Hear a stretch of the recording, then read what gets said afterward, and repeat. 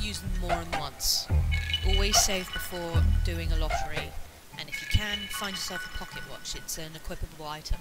Basically, it makes the invisible judgment ring visible no matter what.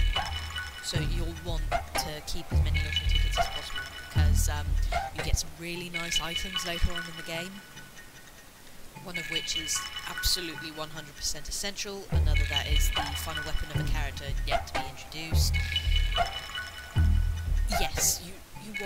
Keep your lottery tickets, and um, it's a it's a fun side quest because there is a um, chairman of the lottery organisation.